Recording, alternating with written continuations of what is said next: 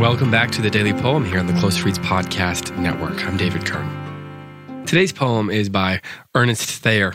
He lived from 1863 to 1940 and was an American writer uh, who is most famous for the poem that I'm going to read today. Every now and then, I like to read a poem that is specifically uh, for the younger listeners, for the kids.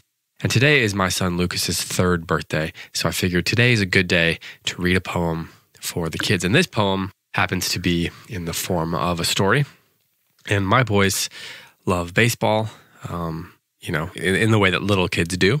And uh, it's baseball season now. So I thought that I would read Ernest Lawrence Thayer's Casey at the Bat. This may not be the most complicated of poems ever written, but it is one of America's best known examples of comic verse. You'll be familiar with it, I, I assume. Um, and if not, then memorize it. Uh, but here it goes. This is Casey at the bat. It looked extremely rocky for the Mudville Nine that day. The score stood four to six, with but an inning left to play. And so when Cooney died at first, and Barrows did the same, a pallor wreathed the features of the patrons of the game. A straggling few got up to go, leaving there the rest, with the hope which springs eternal within the human breast. For they thought if only Casey could get a whack at that, they'd put up even money now with Casey at the bat. But Flynn preceded Casey, and likewise so did Blake, and the former was a pudding and the latter was a fake. So on that stricken multitude a death-like silence sat, for there seemed but little chance of Casey's getting to the bat. But Flynn let drive a single to the wonderment of all, and the much despised Blakey tore the cover off the ball.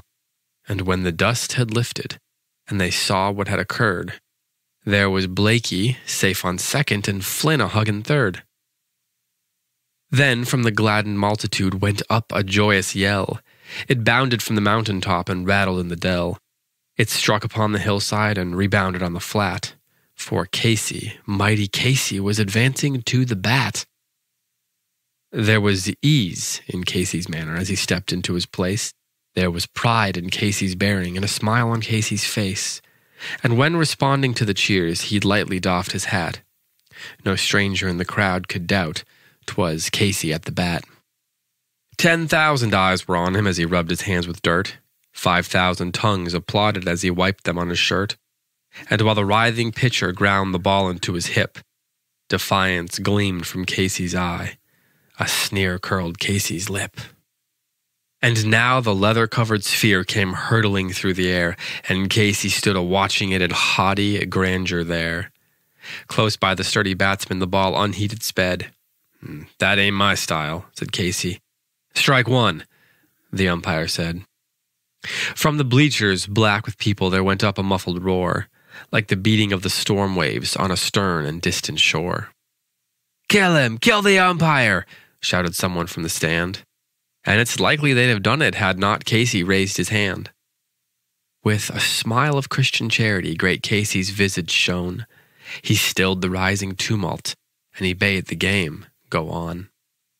He signaled to the pitcher, and once more the spheroid flew. But Casey still ignored it, and the umpire said, Strike two. Fraud! cried the maddened thousands, and the echo answered, Fraud! But one scornful look from Casey and the audience was awed.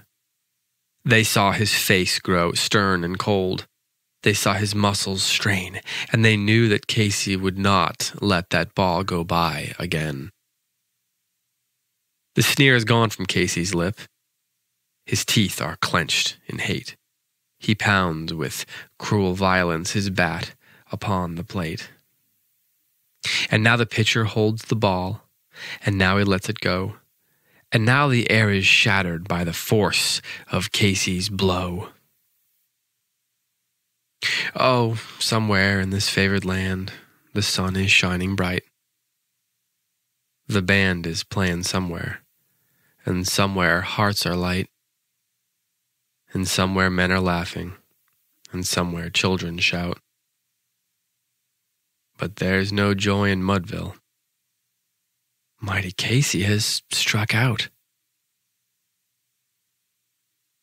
This poem is silly in some ways, of course, but there's also a lot going on here that's really interesting. Um, it it certainly is playing um, with some really classic poetic forms here. You've got the heroic couplet, for example, um, the ballad, even the elegy, um, in some ways, perhaps even the ode, um, if you want to stretch some of those definitions. But it's clear that Ernest Lawrence Thayer is playing with the various poetic traditions, um, presumably with which he was very familiar. Um, and, uh, you know, it takes the whole scene very seriously, even as it's making a comic moment out of it. I think sometimes the best comic writing, you know, think about Wodehouse, for example. Uh, the best comic writing is writing where a ridiculous or um, essentially non essential thing is taken seriously. So here, this is just a baseball game.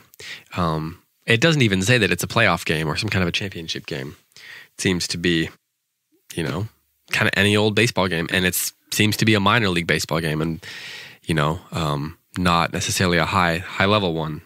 Um, and throughout the poem, the scene is t- treated as if it's you know, uh, as if it's a great battle going on, as if we're on the verge of the Battle of Agincourt, or we're about to have the charge of the Light Brigade, or the ride of Paul Revere, or something. So I think in that way it fits in nicely with some of those those poems. Of course, those are these patriotic, um, these kind of odes to patriotism, these calls to to courage. But there's also this narrative in this poem. Um, there's and the narrative that drives things forward that keeps us um, both amused and interested but it doesn't end in in heroism. Um, and I've heard people, you know, make the case that this is one of the poems kids should read because you know they'll know it's okay to fail. And I mean, if you want to know it's okay to fail, you should just play baseball. I don't think you need this poem.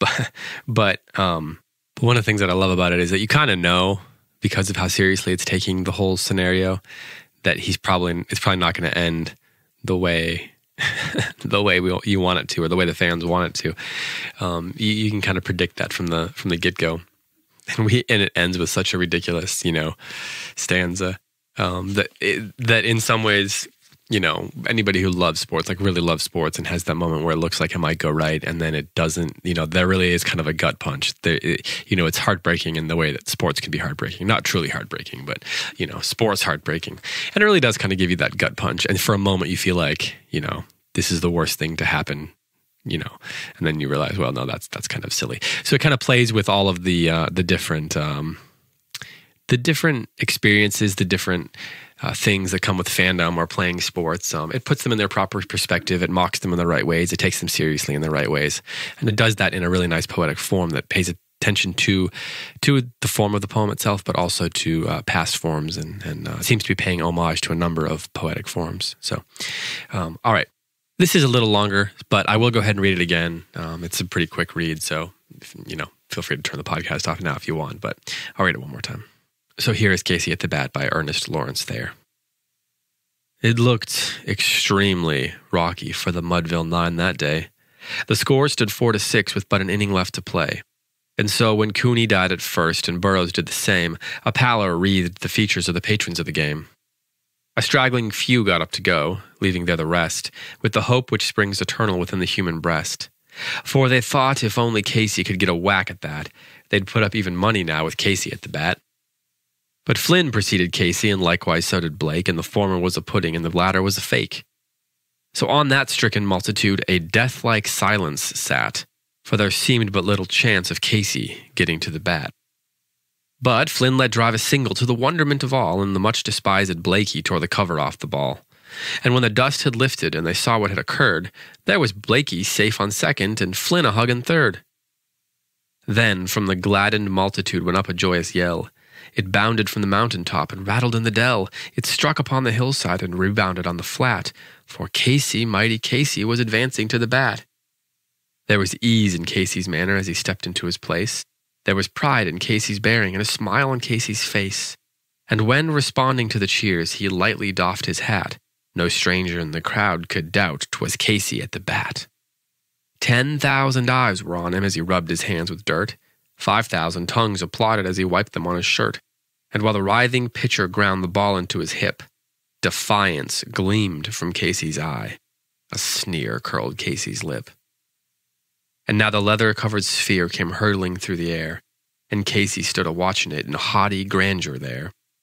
Close by the sturdy batsman, the ball unheeded sped. That ain't my style, said Casey. Strike one, the umpire said. From the bleachers, black with people, there went up a muffled roar, like the beating of the storm waves on a stern and distant shore. Kill him! Kill the umpire! shouted someone from the stand. And it's likely they'd have done it had not Casey raised his hand. With a smile of Christian charity, great Casey's visage shone. He stilled the rising tumult and he bade the game go on. He signaled to the pitcher, and once more the spheroid flew. But Casey still ignored it, and the umpire said, Strike two. Fraud! cried the maddened thousands, and the echo answered, Fraud! But one scornful look from Casey and the audience was awed. They saw his face grow stern and cold. They saw his muscles strain, and they knew that Casey would not let that ball go by again. The sneer is gone from Casey's lip, his teeth are clenched in hate. He pounds with cruel violence his bat upon the plate. And now the pitcher holds the ball, and now he lets it go. And now the air is shattered by the force of Casey's blow. Oh, somewhere in this favored land, the sun is shining bright. The band is playing somewhere. Somewhere hearts are light. And somewhere men are laughing, and somewhere children shout. But there is no joy in Mudville. Mighty Casey has struck out? This has been the Daily Poem. Thanks so much for listening. I'll be back tomorrow with another poem for you.